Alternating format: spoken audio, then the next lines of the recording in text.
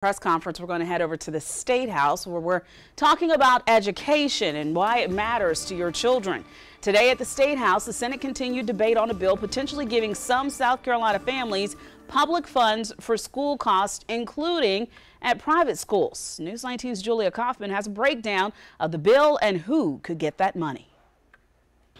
School choice has been a big topic this year in the South Carolina legislature. I think it would bring uh, accountability to the schools.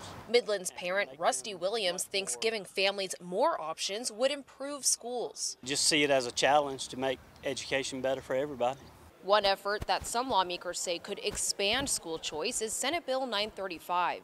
It could create scholarship funds for students that are low income or have special education needs. We're giving opportunity to a poor child in South Carolina that does not have that opportunity now. Senate Majority Leader Shane Massey says eligible kids could be awarded $6,000 from the state to use on tuition and fees for public or private school, textbooks, tutoring, transportation, behavioral therapy, and more. But Senators Marlon Kimpson and Mike Fanning worry the costs of private school don't give qualifying students much choice at all. I gave you the numbers for the private schools in Charleston. Twelve to fifteen thousand dollars a year.